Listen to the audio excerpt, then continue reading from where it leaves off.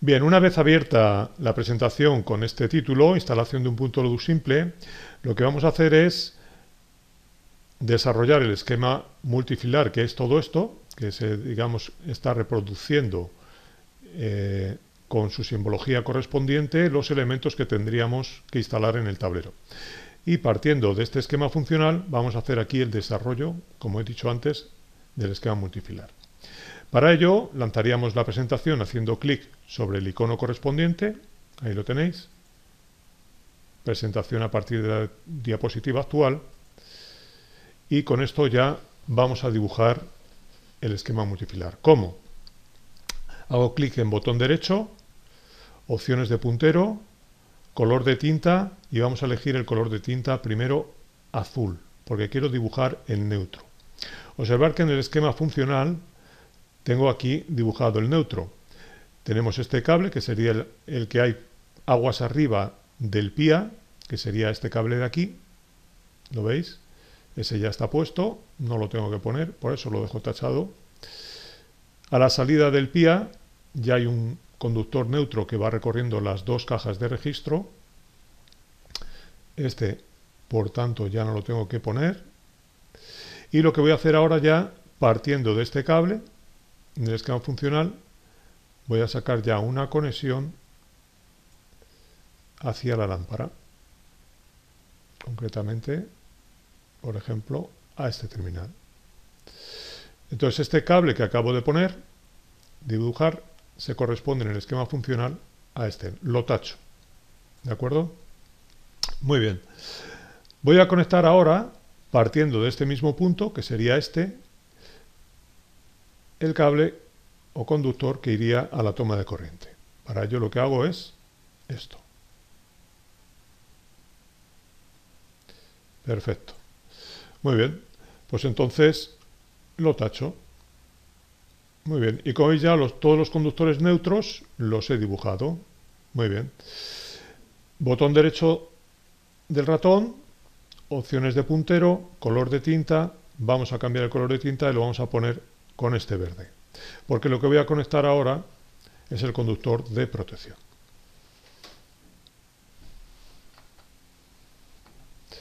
Se ve muy mal, ¿eh? pero por lo tanto voy a cambiar el color, opciones de puntero, color de tinta y vamos a poner uno que se ve un poquito mejor, que puede ser este.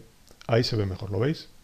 Muy bien, pues como veis, el conductor de protección no pasa por el PIA, sino que va directamente desde el cuadro donde lo tengamos conectado y como veis ya hay tendida una parte que sería todo esto y que se corresponde con este conductor. Lo que tengo que dar ahora es tierra a la lámpara y tierra a la toma de corriente. Vamos a empezar por la lámpara, hago una conexión aquí, por ejemplo, un puntito, dibujo y procurando no mezclarme con el neutro, llevo aquí el conductor. Muy bien, pues ya tengo la tierra de la toma de corriente. Y ahora vamos a irnos a la tierra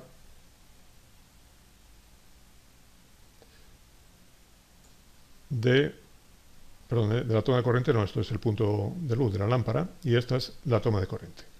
Muy bien, lo que hemos hecho entonces es este cable se corresponde con este, lo borraríamos y este cable se corresponde con este y este lo borraríamos. Solo nos queda pues esta parte de aquí.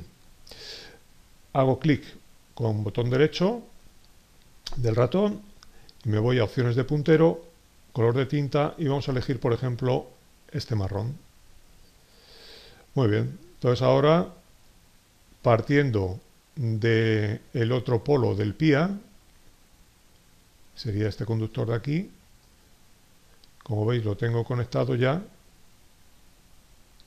porque se corresponde con este conductor. Bueno, pues de este mismo conductor entonces tenemos que sacar un hilo,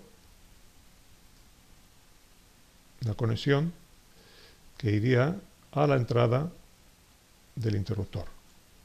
Sería este cable de aquí. Ya lo he hecho. Y ahora de la salida del interruptor tengo que irme a la lámpara. Bueno, pues de la salida del interruptor vamos a dibujar el cable que iría a la lámpara. Me vengo por aquí y ya directamente, esto en el argot electricista sería el vuelta, ¿eh? el, cable de vuelta. Muy bien, pues ya lo dejo aquí conectado, lo dejo tachado para indicarme que ya lo tengo puesto. Y ahora, partiendo de este mismo punto, que sería este, me tengo que ir a la toma de corriente. Bueno, pues vamos a usar la toma de corriente. Vengo por aquí.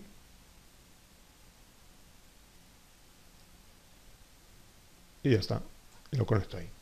Perfecto. Bueno, pues esta sería la diapositiva. ¿eh? Y vamos a ir a la siguiente. Para ello, haría doble clic con el botón derecho del ratón, ir a diapositiva a la 2. Me voy aquí y ahora lo que quiero es desarrollar el esquema unifilar partiendo de aquí. Ya lo tenemos hecho, ¿eh? entonces mm, vamos a simplemente a trazarlo y como veis se trazaría una línea discontinua para indicar a quien vaya a hacer la instalación de este esquema funcional en este plano que este interruptor está gobernando este punto de luz y la toma de corriente quedaría situada en ese punto. Muy bien, vamos a la siguiente diapositiva. Podemos ir a la siguiente. Y ahora lo que se trata es de este esquema unifilar que está representado sobre un plano en planta, es decir, con una vista aérea de lo que sería esta habitación, vamos a llevar ahora el esquema, vamos a trazar, mejor dicho, las canalizaciones que se corresponderían con esta instalación. Botón derecho del ratón, opciones de puntero, color de tinta, vamos a, elegir este azul, por ejemplo, es con el color que se suelen eh, marcar las rozas en cualquier eh, obra, ¿eh? y opciones de puntero, esta vez vamos a coger rotulador. Muy bien. Entonces, lo primero que tenemos que hacer es colocar una caja de registro, normalmente la pondríamos en, en un ángulo de la puerta, separado unos 20 centímetros, por este tubo vendría la alimentación a la habitación, la alimentación eléctrica. Vamos a poner aquí un tubo que sería el que conectaría esta caja con el interruptor. Lo ponemos aquí lo dibujáis lo mejor que podáis con el ratón. Ahora lo que tendríamos que dibujar sería la canalización que uniera el mecanismo del interruptor con el punto de luz, pero siempre pasando por la caja. Entonces, como veis, este es el interruptor. Voy a dibujar aquí la lámpara, por ejemplo, aquí, flotando en el techo. Y lo que tengo que hacer es llevar un conductor desde la caja de registro a la lámpara. Y ahora vamos a conectar la toma de corriente. La toma de corriente estaría aquí, Vamos a representarla con su símbolo. Como tiene toma de tierra, le ponemos su toma de tierra. Si no sale muy bien, botón derecho del ratón, opciones de puntero y os vais a borrador. Lo borráis, no pasa nada. ¿Vale? Botón derecho del ratón, opciones de puntero, rotulador. Entonces, vuelvo a dibujarlo, a ver si me sale esta vez mejor, parece que sí le pongo aquí la tierra y ahí lo tenemos. Muy bien, entonces ahora hay varias opciones. Podríamos llevarlo por el suelo, es decir, tendríamos que traer un tubo por aquí, llevarlo por el suelo y conectar al mecanismo correspondiente a la toma de corriente o lo llevaremos por el techo. Voy a optar por llevarlo por el techo. Entonces lo que haría sería este tubo, lo llevaría por el techo y al llegar aquí lo conectaría con la toma de corriente. Estas serían las canalizaciones o tubos que tendría que poner en un entorno real. ¿De acuerdo? Muy bien, pues esto es lo que tenéis que hacer en todas las presentaciones que os vaya encomendando.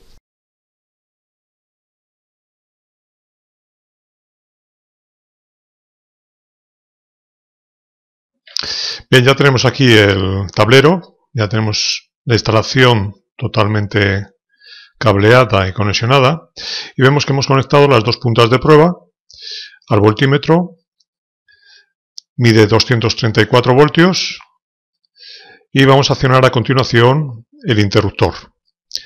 Observaremos que se enciende la lámpara